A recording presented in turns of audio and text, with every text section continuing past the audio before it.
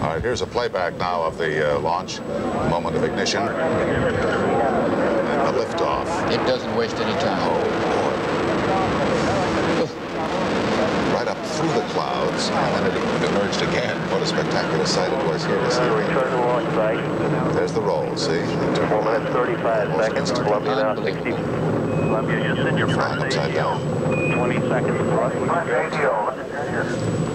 4 minutes 44 seconds. Uh, for the first time, Columbia has uh, forward abort to orbit capability on two engines by throttling engines up to 107%. Nautical mile altitude. That means they can lose one of the three engines and still get in orbit by utilizing their fuel through the remaining two. I'm going to go in 40 seconds. Five minutes. Columbia now 68 nautical So- miles in altitude, Past 189 the five-minute nautical mark. miles I'm going to show you the launch again from another uh, angle. There's that water flood to suppress Right, the yes, the turbulence. shock wave, yes.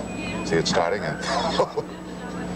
Five minutes, 14 seconds. That call up by Capcom Brandenstein says that England It's gonna come out of there. Watch it come out. On two engines without throttling up Columbia's engine. Oh, boy, just riding that Five minutes, wall of 25 flame. Seconds. Columbia now That's when I sort of wish I could do it again.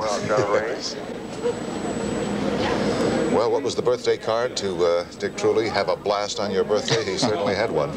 No, I mean, at that moment. All right, we're at 5 minutes, 45 seconds into the uh, mission, and they're pressing on toward orbit.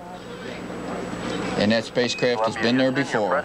It is really a return to space. We're going to show you the launch from a still another angle. As you might guess, we've got cameras scattered all over this place uh, down there.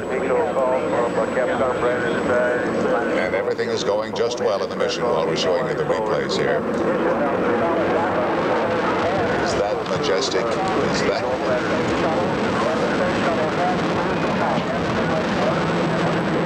Voice of Joe Engle says everything is looking good on board. Mark, 6 minutes, 18 seconds after over Starcom Brandon Stein indicates the two engine failure return to Columbia. See, that's a very good shot, giving you a really good idea of just the tremendous thrust and power.